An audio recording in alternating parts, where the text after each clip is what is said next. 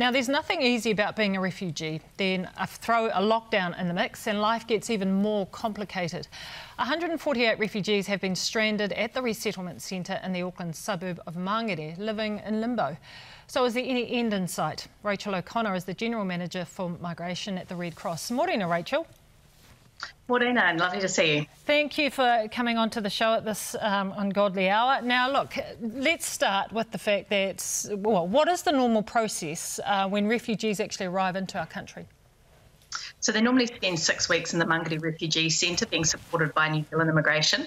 And then Red Cross, we meet them in the community after that six week period and um, help them start their lives in their new community. Okay, so what are the biggest issues that they're facing? And I'm sure there's lots of anxiety for them right now.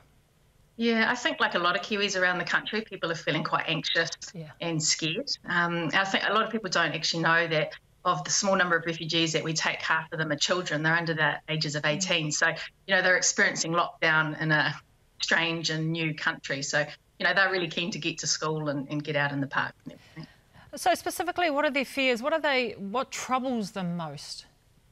Yeah, I think, I mean, they've just, they've literally just escaped a conflict zone, you know, so this is the chance to be safe, to, you know, raise their kids in a safe country and, and everything like that. And suddenly they find themselves living in this midst of this global pandemic in a country that they don't know. You know, I think a lot of the people we're hearing from are worried about their loved ones back home who aren't in the same situation here where they don't have access to healthcare. And there's a lot of concern about that.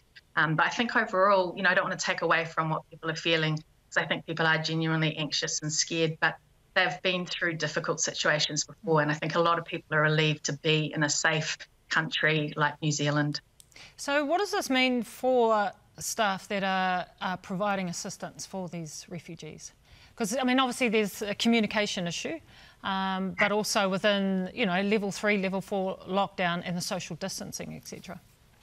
Yeah, it's been really difficult. Um, you know, we're so used to being hands-on, face-to-face with the families, um, doing everything we need to do to support them. So luckily, our team speaks over 30 different languages. So we've been making sure that the families are informed and updated. They feel supported. They know what's going on. We're doing as much as we can over phone. We've got hundreds of volunteers calling the families out in the community every day, checking in, making sure we're delivering groceries, dropping around medications if it's needed. We've even got volunteers who have been reading bedtime stories to the kids over FaceTime. So we're doing everything we can to make sure people feel okay. So talk talk to us about the, the volunteers because I think in the notes it's around about a thousand people that have have jumped on board to help.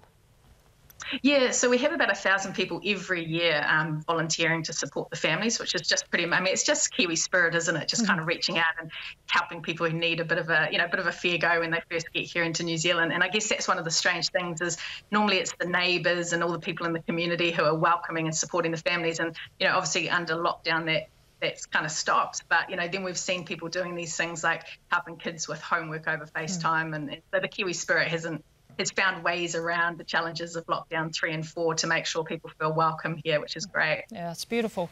Now, have you been given any indication um, when they might be able to resettle into a permanent residence?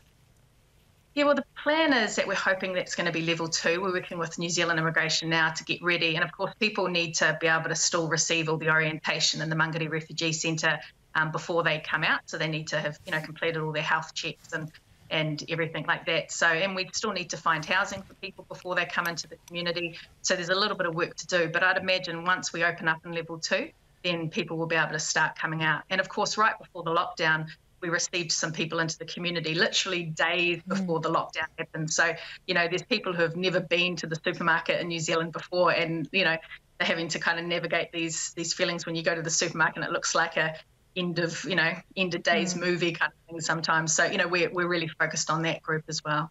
Well rachel thank you so much for your time this morning but also um, more importantly thank you so much for the work that you do. Rachel o'connor from the red cross